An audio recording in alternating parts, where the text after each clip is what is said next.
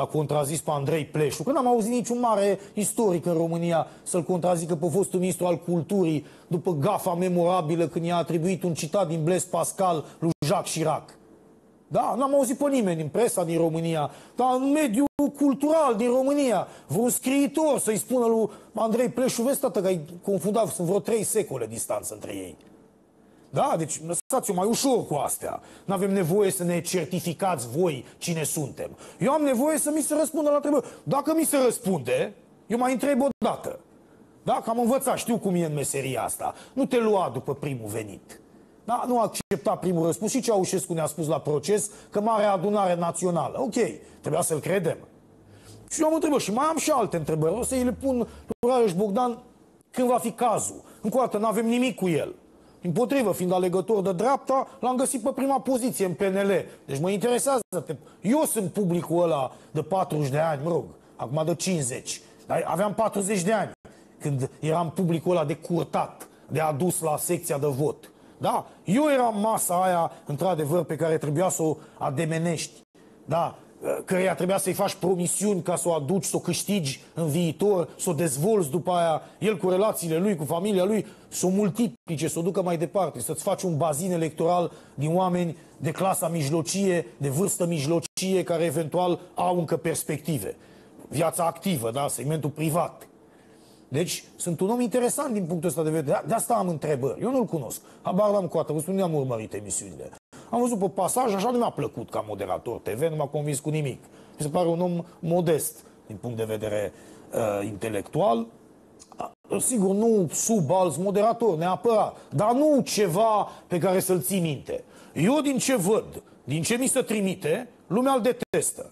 N-am primit mesaje de la oamenii noștri extrem de bine informați. Da? Atâta pot să spun. Din lumea asta obișnuită, nu vă gândiți la acoperiți și la turcești și la... Nu.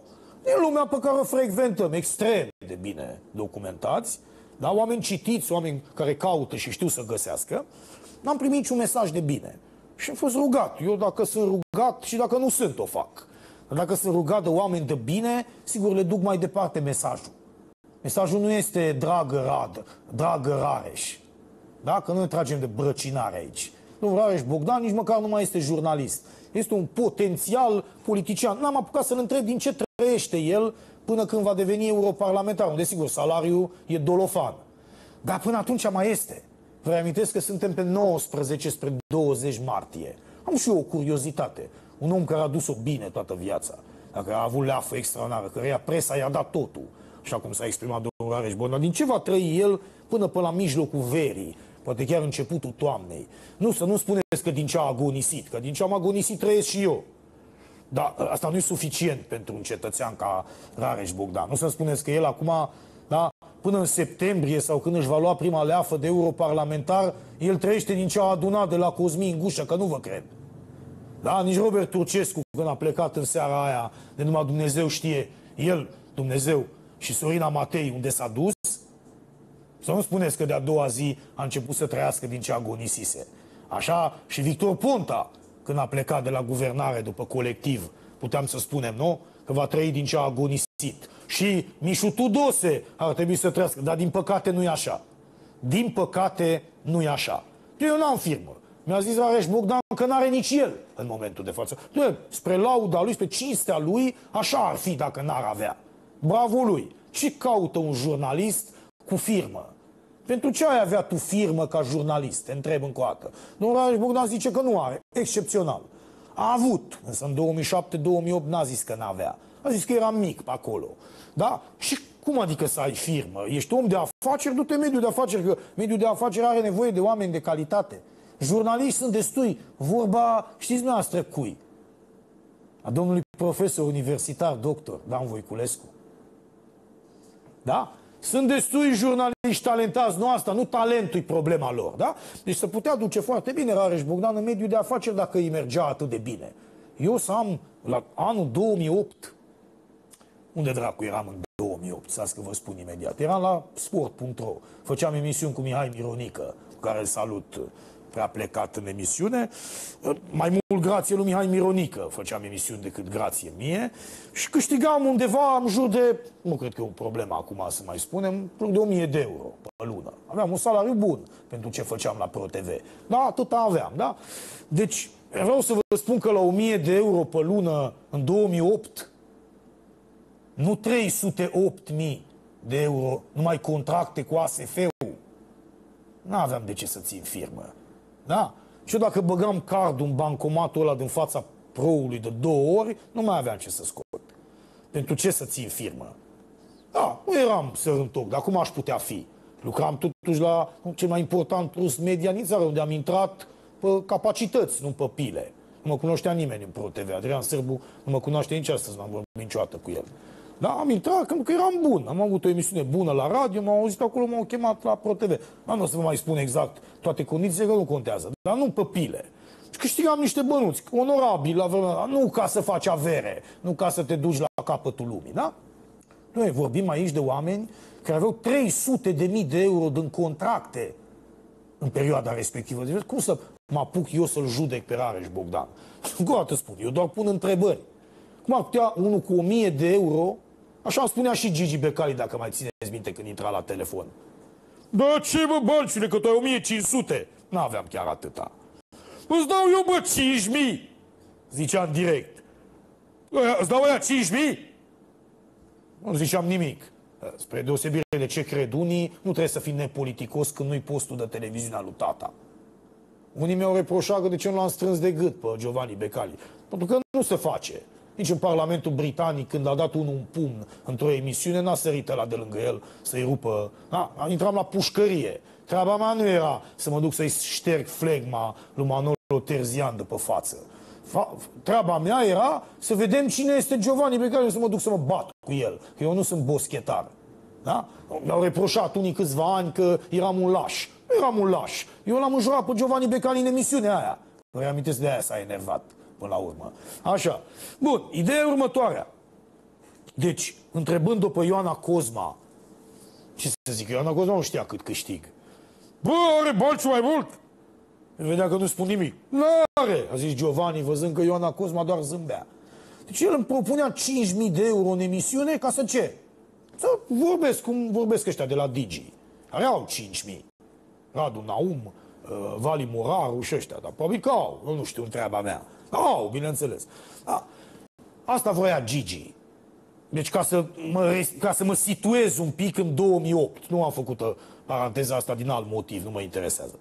Cum să mă iau de unul cu 300 de mii de euro numai în contracte cu statul? Dar pot să-mi pun întrebarea asta 11 ani mai târziu, atâta timp cât domnul Rareș Bogdan, nu eu, da? Se află pe lista candidaților la Europarlament. Că pe mine, dacă mă curta vreun partid, spuneam mulțumesc frumos. Poate că m-au curtat într-o vreme. Și am spus mulțumesc frumos. N-aveam de ce să înjur pentru asta. Da? Eu nu înjur doar ca să mă aflu într înjur pe cine merită. Că vine unul și îmi face o propunere, acum nu mă duc să-l înjur. Îi spun, sunt ocupat sau n-am timp sau n-am chef sau nu mă văd în proiectul respectiv. Am avut tot felul de astfel de propuneri toată viața mea de la a comenta Carling, uite acum îmi pare rău.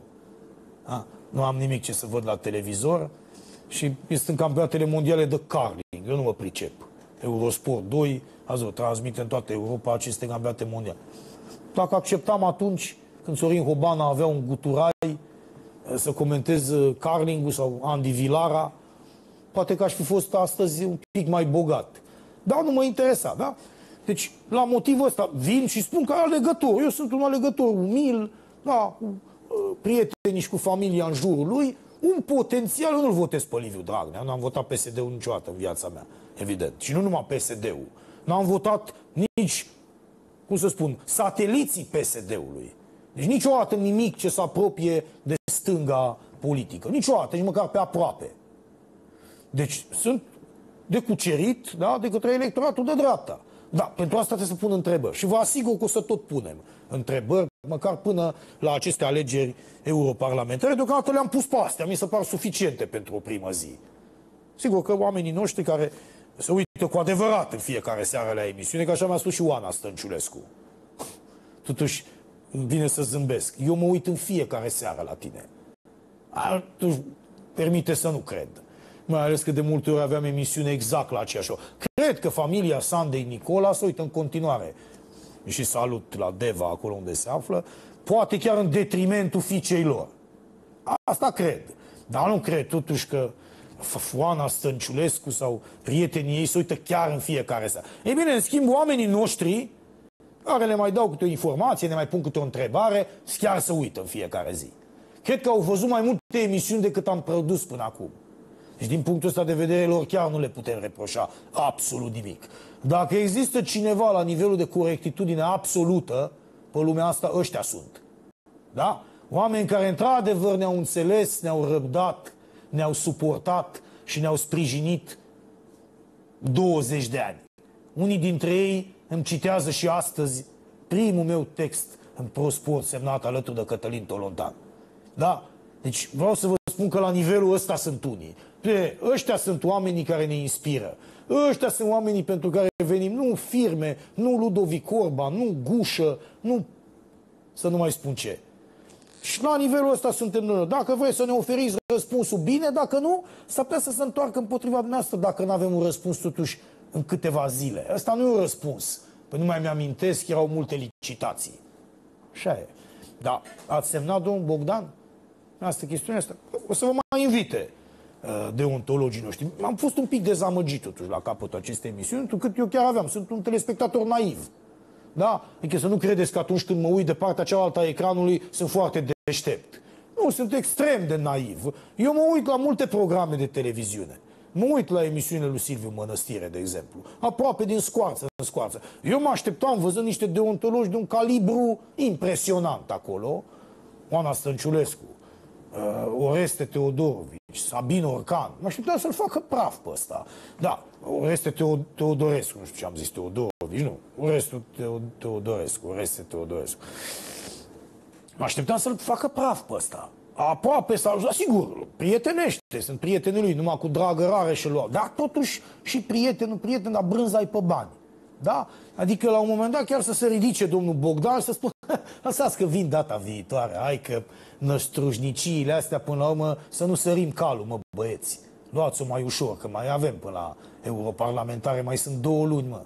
Stați că de-abia de mâine începe primăvara. Stați, mă, mă, mă, mă stați o țără, mă, cochii. Da? Dar uite că nu. Ăștia s-au purtat cu el de ziceai că e șeful statului. Dar tăcuți, liniștiți, nu văd pe Oreste. Oreste le știe pe toate. Și Orcan le știe pe toate, mai puțin cele din agricultură. Ne-a spus de 150 de ori. Sabin Orcan că la agricultură nu se pricepe. Am înțeleg, nici eu nu mă pricep. Da, nu mai pomenesc de fiecare dată că o spune Orcan în locul meu.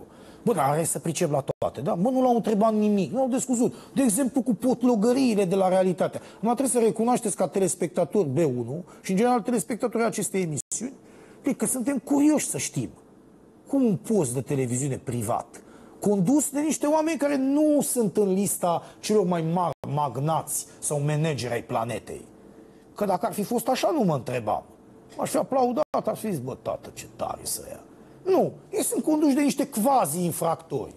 Unul la pușcărie, n-a mai ieșit niciodată, dar a înfundat pușcăriile domnul Vântu și respectiv astăzi domnul Gușă, care, iertați-mă, n-am, am atâtea epitete la mine încât nu le merită domnul Gușă. Da, aș fi vrut, de exemplu, nu să monopolizeze cum fac eu. Toată emisiunea o monopolizez pe un singur subiect. Că de-aia se numește emisiunea Lumea lui Banciu. Aia nu e emisiunea Lumea lui Mănăstire. Da? Sau Lumea lui Orcan sau lumea lui Stănciulescu. Nu e. Și atunci ei nu monopolizează, că ei sunt ca pătrarul ăla. Fac 300 de subiecte ca să pară mai popular. Nu, eu dacă mă enervez, vorbesc pe un singur subiect. Că eu pot să vorbesc până dimineața pe un subiect. Mie nu trebuie 300 de subiecte ca să-mi fac emisiunea. Și dacă n-am chef într-o seară, vorbesc pe un singur subiect. Când nu o să mai fiu eu aici și o să fie Oreste Teodorovici, o să vorbească el, sau Teodorescu. O să vorbească el de 300 de subiecte, dacă vrea. Eu vorbesc de unul, cât sunt eu. Da? Să fie clar. Așa. Deci, să uitau, da, și niciunul. N-a îndrăznit măcar o dată să-l întrebe, bă, dar cum vă plătea totuși? Vă luați leafa la timp? Așa când venea ziua aia, cum ne făceam noi pe timpul când lucram la prosportul lui Ringer sau la gazeta, mai nu știu a cui era atunci. E, aveam așa o strângere de stomac în ziua când venea leafa. Și ne duceam la bancomatul ăla de la Aerofina, acolo în Pipera, și băgam cardul. Și scria zero sau fonduri insuficiente ca să vă citiți soldul. Știți că așa era atunci. Citirea de sold era câțiva lei. Noi nu mai aveam. Știgam o brumă de bani pe care îi scoteam odată, că nici nu aveam cum să nu-i scoatem odată, că dacă nu ni lua cu impozit banca. Mai băgam de trei ori să ne citim soldul, nu mai era niciun ban pe cap. Deci noi aveam o strângere de inimă când venea ziua aia. Că aia ne plăteau ca pe niște găini jumulite. Bun. Tu la realitatea TV. Când ești corifeu, ai 10.000 de euro pe lună. Zic așa, generic. Ce, când venea ziua de salariu, ce făceai? Îți trimitea banca SMS, stăteai până îți venea SMS-ul ăla toată ziua cu ecranul telefonului așa, sau te duceai, băgai cardul, ce făceai? Deschideai home bank-ul acasă pe computer? Vreau să știu și eu. Ești candidat astăzi, vrei să ne reprezinți în Europa, vrei să vorbești despre istoria Franței cu bruselezii acolo. Băi, periculos, bă, istoria Franței, nu istoria României. Atenție, a dat-o înapoi acolo. Aici N-am ce să-i reproșez, domnule. Când l-am întrebat dacă vrea într-adevăr să discutăm despre istoria Franței, a râs și a zis nu, aia era o glumă. Ok,